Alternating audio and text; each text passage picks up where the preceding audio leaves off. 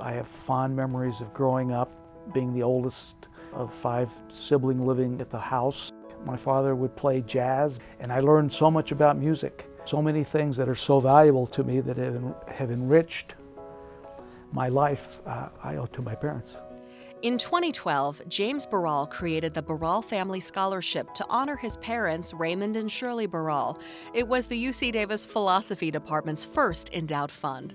I have gotten to know the current recipient, uh, Myrna Champ, uh, who is a senior there now, uh, who's an incredible person, is married, has two children, commutes from Berkeley, where her husband is at the law school at, at Berkeley, takes the train to Davis, walks from the train station to UC Davis to study philosophy, studies for the, for the LSATs. She's planning to go to law school on the train back, then goes home and takes care of her children and does that five days a week and has been doing it for years. Uh, an amazing and inspirational person. For me, it's an honor in my family and a, cha a chance for me to, uh, to mentor and to give back in the same way that so many people have done for me at UC Davis, at UCLA, at Irvin Cohen and Jessup, at uh, Latham and Watkins.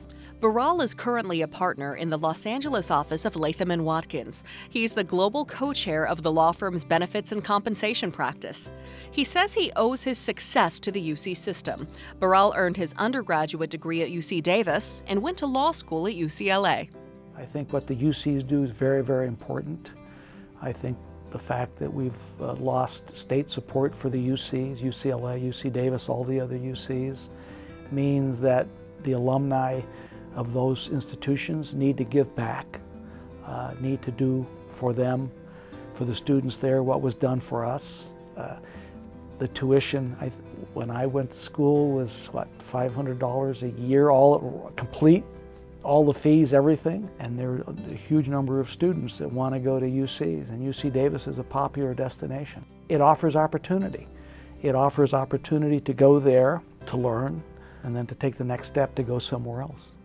For Barrall, building a strong future is his passion. It's what he tells his kids, his colleagues, and those he mentors. It is what drives his work.